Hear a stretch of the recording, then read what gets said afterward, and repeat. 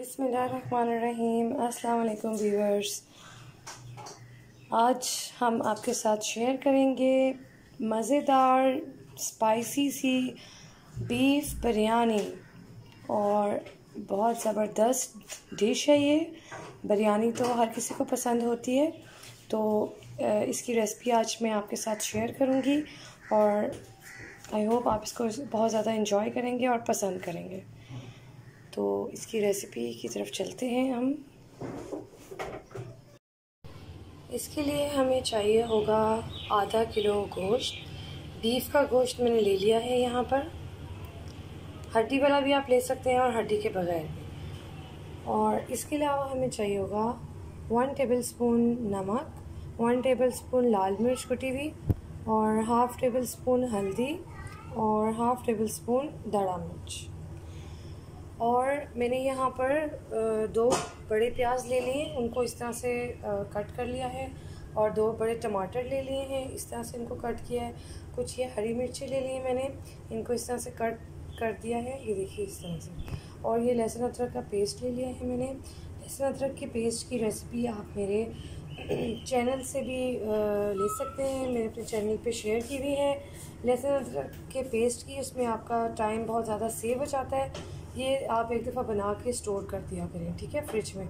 और ये आपका काफ़ी डेज़ तक फ्रेश रह सकता है। तो चलिए हम इसको बनाना स्टार्ट करते हैं। सबसे पहले आपने कुकर ले लेना है। आ, मैं कुकर में बनाऊँगी क्योंकि बीफ जो है वो आ, कुकर में बहुत अच्छे से गल जाएगा। और इसके अंदर आपने थोड़ा सा पानी डालना है यहाँ पे मैं एक टिप शेयर कर रही हूँ आपके साथ।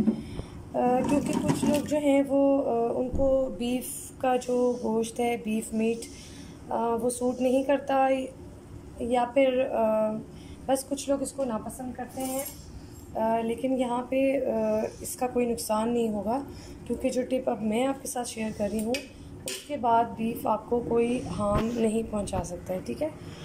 इसमें आपने करना है कि अगर आप जब बीफ बनाना स्टार्ट करते हैं तो आप कोई भी पतीला या कुकर ले लीजिए जिसमें आप बनाएँगे। उसमें आप बीफ डाल के थोड़ा सा पानी आपने इतना डालना है ज़रा सा पानी इस तरह से डाल देना आपने इसके अंदर। और एक बॉयल दे के पानी हम फेंक देंगे इसका। और उसके बाद जो इसको ज़्यादा बॉयल नहीं करना, बस ओनली वन बॉयल एक बॉयल आ जाए। और उसके बाद आपने वो पानी फेंक देना है, फिर आप अपना रेसिपी को स्टार्ट कर देंगे, ठीक है? तो आप बॉयल आने का वेट करते हैं। ये देखिए इस तरह से बॉयल आ रहा है। अब मैं इसको ड्रेन कर लूँगी। ये देखिए, इस तरह से मैंने इसको ड्रेन कर लिया है। अब हम इसको वापस कुकर में डाल देंगे। मैंने इसको कुकर में वापस डाल दिया है और अब मैं इसमें ऐड कर दूँगी थोड़ा सा पानी। ये मैं अंदाजे से डाल रही हूँ। फिर मैं आपको बताती हूँ कि कितना पानी आप इसमें डालेंगे। जी तो वीवर्स इसमें आपने तीन गिलास पानी डाल देना है और ये जो हमने कट करके रखा था, प्याज, टमाटर, लहसुन, अदरक का पेस्ट, हरी मिर्चें, अब ये हम इसके अंदर डाल दें। पे मैंने आधा किलो चावल ले लिए हैं। जितने जितना हमारा गोश्त होता है, मीट जितना हम यूज़ करते हैं बिरयानी में, उतने ही राइस हमने लेने होते हैं। जैसे अगर आप वन के जी मीट यूज़ करें तो वन के जी ही राइस लेंगे आप। मैंने आज हाफ़ के जी बीफ लिया है तो मैं हाफ़ के जी ही राइस लूँगी। इनको मैंने वॉश करके अच्छे से पानी में इस तरह से डिप कर दिया है। और कुकर का भी टाइम हमारा हो चुका है तो चलिए अब देखते हैं। कुकर को मैंने ओपन कर लिया है और ये इस तरह से हो गया है।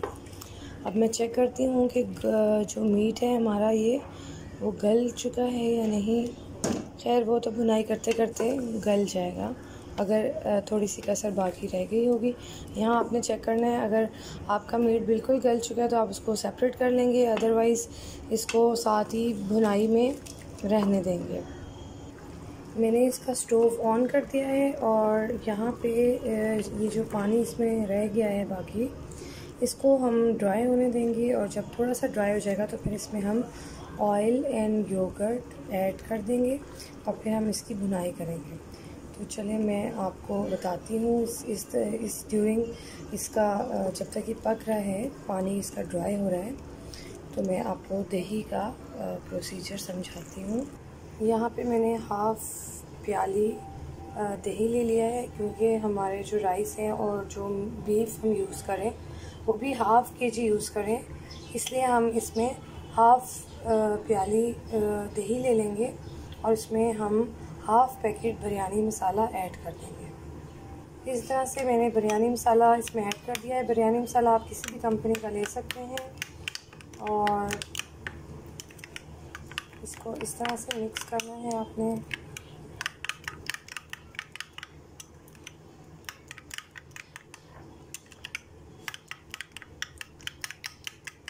इसको आपने बीट कर देना है साथ साथ यहाँ पे मैंने ये साबुत गरम मसाला ले लिया है थोड़ा सा थोड़ी सी दालचीनी है, दो स्टिक्स दालचीनी की, दो छोटी इलायची, एक बड़ी इलायची है और चार से पाँच लौंग हैं और चार से पाँच काली मिर्च है साबुत और थोड़ा सा ज़ीरा।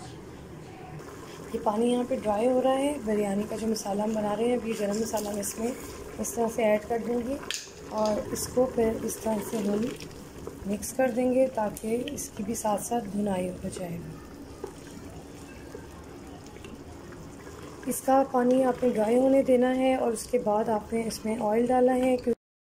जी तो व्यूवर्स ये राइस इस तरह से बॉईल हो रहे हैं और मैंने इसके अंदर तकरीबन टू टेबल स्पून सिरका ऐड किया है विनेगर जो होता है आ, उससे ये होता है कि चावल जो है आपके खिल के बनते हैं फूल के बनते हैं ठीक है? अगर आपके पास विनेगर नहीं है तो आप लेमन जूस भी यूज़ कर सकते हैं उसकी जगह पे। तो आपने चावल जब आपके बॉयल होना स्टार्ट हो रहे हैं इसमें सॉरी रेडी होना स्टार्ट हो रहे हैं तो उसमें आपने एक कनी चावल में छोड़ देनी है और उसको ज़्यादा पकाना नहीं है, अच्छे से एक कनी बाकी रहने देंगे। तो तकरीबन ये एक कनी इसमें बाकी है, अब हम इसको ड्रेन कर लेंगे। तो देखिए, ज़बरदस्त, माशाल्लाह इतने खिल के चावल जो हैं हमारे वो स्ट्रेन हुए हैं और अब हम इसको दम लगाएँगे। आपने इसको बिल्कुल भी ठंडा होने नहीं देना, फटाफट से आपने इसको दम लगा देना है। अदरवाइज़ अगर आपके चावल ठंडे हो गए तो फिर बिरयानी का कोई मज़ा नहीं आएगा। यहाँ पे आपने एक पैन में इस तरह से सालन डाल देना है, ठीक है, जो ये हमने बिरयानी का मसाला बनाया था। इसके ऊपर आपने राइस डालने हैं। यहाँ पे ही मैंने इसके ऊपर राइस डाले हैं, और जो चीज़ें हमने गार्निशिंग के लिए रखी थी, वो आपने डालनी है। ये इस तरह से जो मैंने आपको दिखाया था वीडियो के स्टार्ट में, जो मैंने इमली का पल्प बना के रखा था वो आपने इसमें डाल देना है। इस तरह आप टमाटर इसमें रखते जाएँगे। और ये हल्का सा हरा धनिया आप ऐड करेंगे। और कुछ लीमू आप इसमें डाल देंगे। लीमू आपने इसमें से ऐड कर देने इस तरह। आप हम फिर से इसके ऊपर सालन डाल देंगे। मैंने इसके ऊपर सालन डाल के फिर राइस डाल दिए थे। और फिर मैं इसके ऊपर इस तरह से लीमू सॉरी, टमाटर डालूँगी। और फिर मैं इस पर लीमू इस तरह से डाल दूँगी। और ये जो पल्प मैंने बनाया था, इमली वाला ये मैं इस तरह से डाल दूँगी इसके ऊपर और हरा धनिया। बस आपने स्टेप वाइज इसी तरह से तह लगाते जाना है, ठीक है? इस तरह से हमने जो हमारा प्रोसीजर था तह लगाने वाला, हमने वो तह लगा दिया है। चावल और जो हमारा बिरयानी मसाला था उसका। और अब मैंने ये जो कटिंग की हुई थी गार्निशिंग वाली चीज़ें, ये भी मैंने रेडी कर दी हैं। स्टोव मैंने इसका ऑन कर दिया है और अब मैं इसके ऊपर कवर कर दूँगी इसको तकरीबन बिल्कुल धीमी, हल्की आँच पे पाँच मिनट के लिए, ठीक है? पाँच मिनट के लिए आपने इसको दम पे रखना है और आपकी बीफ बिरयानी रेडी हो जाएगी। जी तो वीवर्स दम लगाने से पहले आपने लास्ट जो स्टेप है आपका वो ये है कि ज़रदा रंग आपने ले लेना है। एक स्पून पे ज़रदा पाउडर आपने पिंच लेना है और पानी इसमें डाल के आपने इसके फोर फोर पार्ट्स पे इस तरह से डालना है। मतलब इसकी फोर साइड्स पे आपने इस तरह से डाल देना ठीक है? और उसके बाद आप इसको दम लगा देंगे। तो वीवर्स हमारा दम आ, मैंने तोड़ दिया है दम। फाइव टू टेन मिनट्स का मैंने दम दिया था हल्की आँच पर। और अब हम इसको डिश आउट करेंगे। मज़ेदार सी बीफ बिरयानी रेडी हो चुकी है और ये आपको बहुत पसंद आएगी। आई होप इनशाला ये देखिए व्यूवर्स मैंने इसको डिश आउट कर लिया है और ज़बरदस्त सी बीफ बिरयानी हमारी रेडी हो चुकी है और अब ये रेडी टू सर्व है। इसको आप लोग ज़रूर ट्राई कीजिएगा और आपको बहुत पसंद आएगी। अपने जो कमेंट्स है वो कमेंट बॉक्स में शेयर कीजिएगा। Thanks for watching the video take care अल्लाह हाफिज़।